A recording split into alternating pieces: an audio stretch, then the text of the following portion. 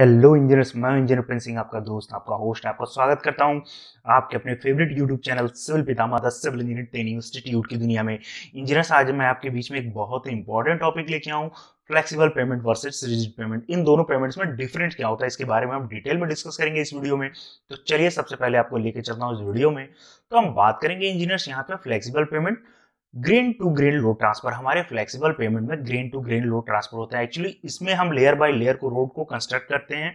तो इसलिए जो इसका लोड ट्रांसफ़र मैकेनिज्म होता है, वो ग्रेन टू ग्रेन होता है। और सिमिलरली बात करेंगे हम रिजिट पेमेंट में स्लैब एक्शन टेक प्लेस क्योंकि हम स्लैब बाय स्लैब बनाते हैं रिजिट पेमेंट को तो इसलिए इसमें लोड ट्रांसफ़र जो होता है, वो स्लैब एक्शन टेक प्लेस करता है। अब सिमिलरली सेकेंड पॉइंट की बात हम करेंगे इनिशियल कॉस्ट इज़ लो।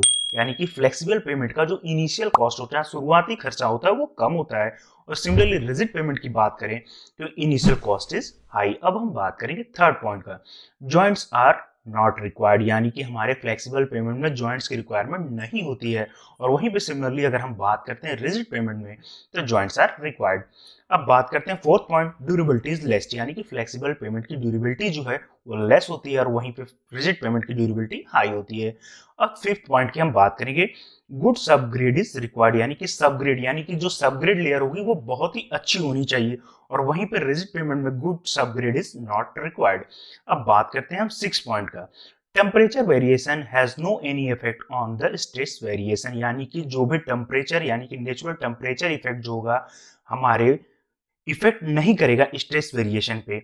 और वहीं पे सिमिलरली अगर हम बात करते हैं रिजिड पेमेंट की temperature variation effect the stress variation अब सेवन पॉइंट की हम बात करेंगे life span is short fifteen years यानी कि हमारा फ्लेक्सिबल पेमेंट जो होता है वो पंद्रह साल के लिए बनाया जाता है। और वहीं पे अगर इसकी बात करते हैं हम रिजिड पेमेंट की तो लाइफ स्पेन थर्टी ईयर्स की होती है।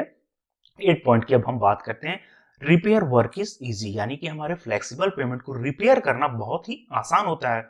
और वहीं पे अगर हम बात करें रिजिट पेमेंट की रिपेयर वर्क इज़ टफ अब हम बात करेंगे नाइन्थ पॉइंट की मेंटेनेंस कॉस्ट इज़ हाई यानी कि हमारे फ्लेक्सिबल पेमेंट को मेंटेनेंस कराने के लिए जो कॉस्ट लगेगा वो ज़्यादा लगेगा।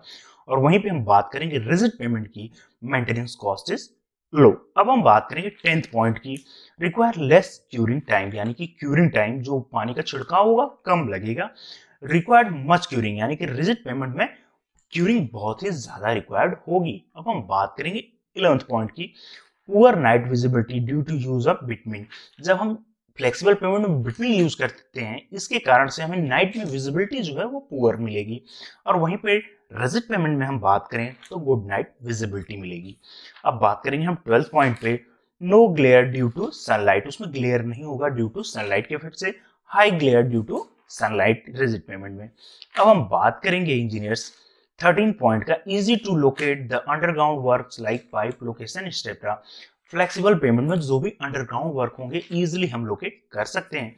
और वहीं पे अगर हम बात करें रिजिट पेमेंट की difficult to do the underground work यानी कि अंडरग्राउंड वर्क जो भी कराना होगा पाइप की तो वो काफ़ी टफ होगा रिजिड पेमेंट में। अब बात करते हैं फोर्टीन पॉइंट की थिकनेस इज़ मोर और वहीं पे बात करें रिजिड पेमेंट की तो thickness is less design depends upon the subgrade strength और वहीं पे रिजिट पेमेंट की अगर हम बात करें design not depend upon subgrade अब हम बात करेंगे सिक्सटीन पॉइंट का। Stability depends upon the aggregate interlocking particle frictions and cohesion.